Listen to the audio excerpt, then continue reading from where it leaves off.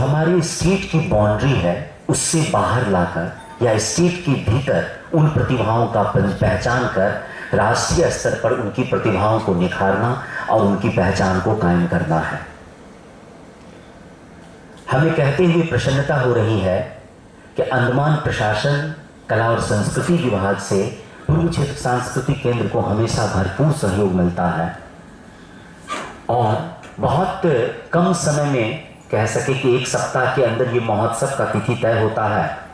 और विशेष रूप से डायरेक्टर साहब देवदास जी का बड़े आभारी हैं कि पिछले दो तीन दिनों तक वो बिल्कुल एक कार्यकर्ता की तरह इसको सफल बनाने में आप सक्रिय रहे।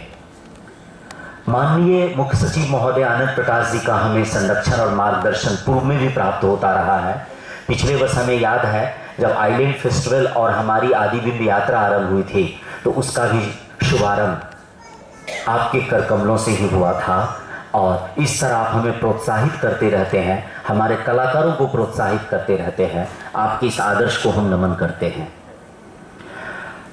संस्कृति सचिव, कला और संस्कृति विभाग की सचिव अंकिता जी से भी बात हो रही थी। बहुत उत्साहित हैं।